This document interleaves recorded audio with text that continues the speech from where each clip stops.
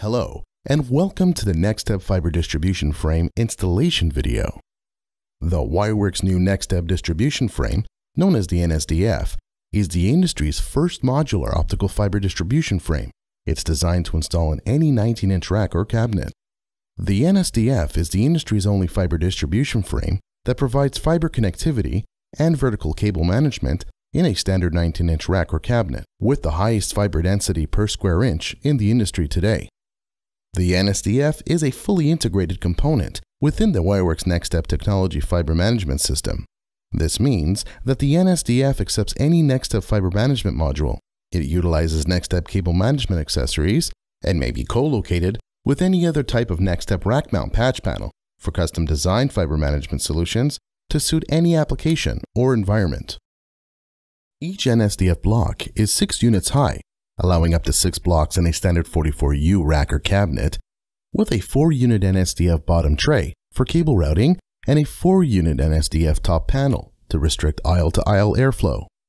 To install each component on the NextStep fiber distribution frame, simply fasten all four screws onto the rack system, as shown in this example.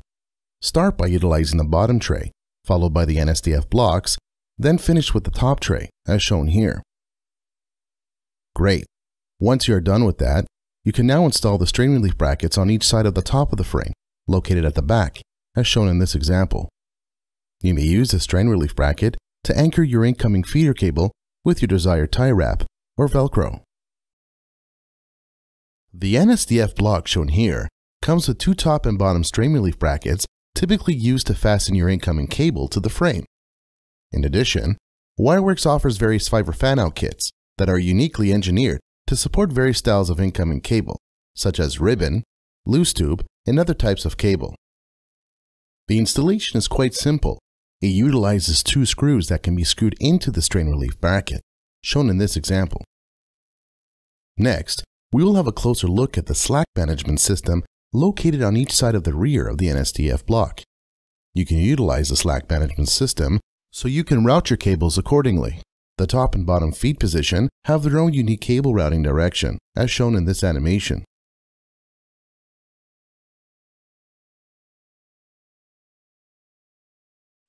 Let's say your rear cable entry point on the rack system is limited to one side only, shown in this example.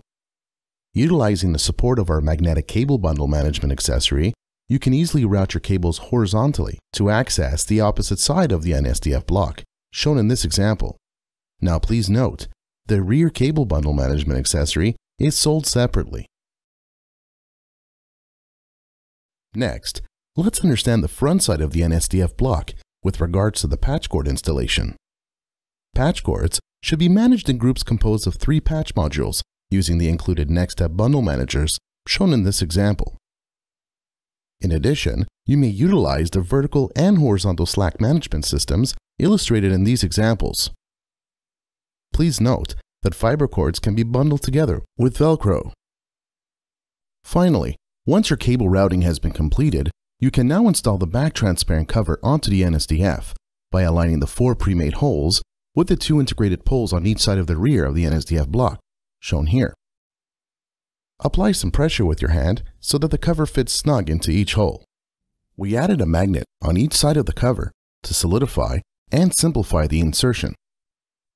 And there you have it, the industry's first modular optical fiber distribution frame designed to install in any standard 19-inch rack or cabinet. Thanks for watching. For more videos, you can visit our YouTube channel or visit our website at www.wirewerks.com.